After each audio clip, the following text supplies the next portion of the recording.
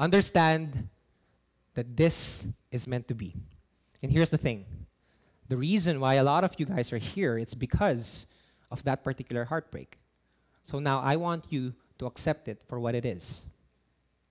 It was a point in your life that is teaching you something, that is sharing you a lesson that you will now use moving forward.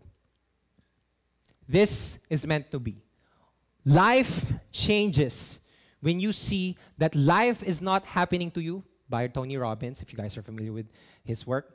Life is not happening to you, life is happening for you. Balikan mo yung mga times na nasaktan ka. Ilang beses mo hinahanap yung sarili mo na, you catch yourself saying na, ah, kaya pala ako nasaktan. Here's the thing, guys. Kung gaano kasakit, yung sakit na ramdaman nyo before, when you start to heal, the love that will replace it will be 10 times more. But you gotta accept it for what it is. It was painful, but it was supposed to happen. And you may not understand it now, but give it time. Give it time, give it space, and you'll see that everything was meant for you.